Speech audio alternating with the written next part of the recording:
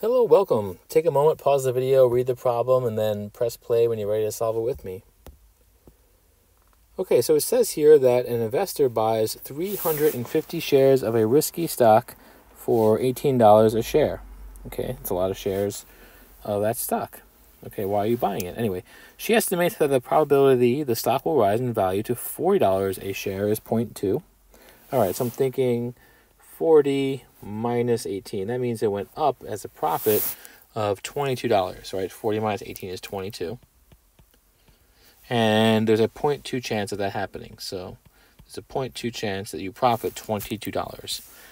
And there's a probability that it'll fall to $8 a share. Oh boy, so 18, um, right this way. 8 minus 18, that's a $10 loss, negative 10. So there is that's eighty percent. There's an eighty percent chance that you will lose ten dollars.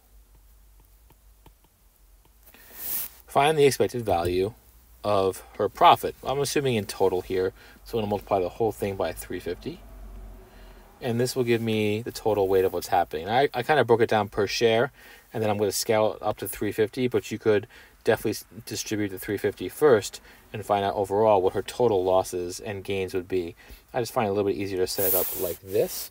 And then we just do the calculations, right? We've got 22 times 0.2, 20% of 22 is 4.4, and then minus 8 times 350.